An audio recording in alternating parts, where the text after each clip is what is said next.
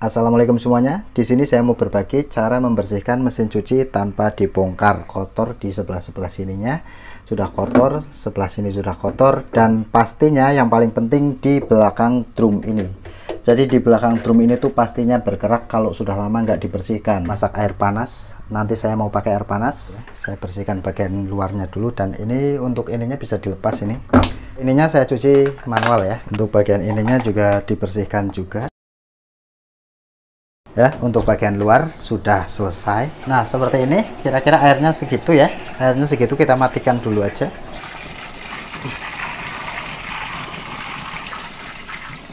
Kenapa saya menggunakan air panas? Karena saya mau menggunakan ini nih. Produk dari Elsaka ini khusus untuk membersihkan mesin cuci ataupun tabung mesin cuci secara mantul. Nah, untuk caranya tinggal seperti ini aja. Tinggal kita tuangkan aja. Kira-kira untuk pemakaiannya tinggal dikira-kira aja. Kalau sekiranya mesinnya sudah lama nggak pernah dibersihkan kita pakai sekitar tiga tutup ya. Tiga tutup sudah cukup. Nah tiga tutup seperti ini. Biar ngaduk dulu. Tinggal kita tunggu aja sampai dia muter sendiri mesinnya ya. Ini sudah mulai ngocok. Saya biasanya saya diamkannya ya sampai pagi. Ini saya syuting sekitar jam 2 pagi.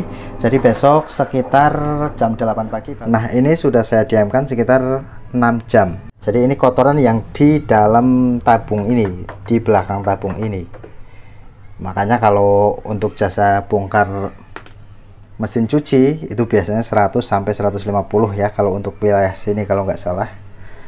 Nah, supaya nggak bongkar nggak ribet panggil-panggil tukang servis ya ini aja pakainya ini aja.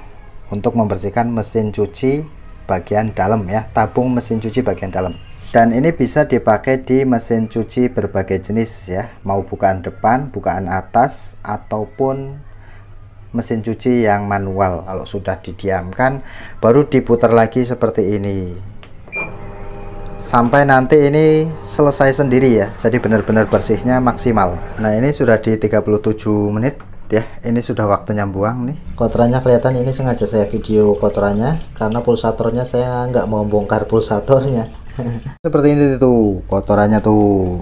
Wush kotorannya mantap. Keluar semua tuh. Jadi yang di dalam sininya tuh pada keluar tuh. Paham nggak? Cuman medionya ini yang susah. Jadi yang di dalam-dalam sini pada keluar semua. Jadi ini bilas dua kali. Saya bilas dua kali supaya pembersihnya hilang kotorannya juga hilang maksimal. Kira-kira seperti itu aja. Jadi buat anda yang minat dengan produk ini silahkan langsung di check out saja ya sebelum kehabisan dan mumpung lagi diskon gede-gedean. Langsung di check out saja. Ini murah segini kalau nggak salah sekitar 50 ribuan. Dan ini bisa dipakai sampai 3 sampai 4 kali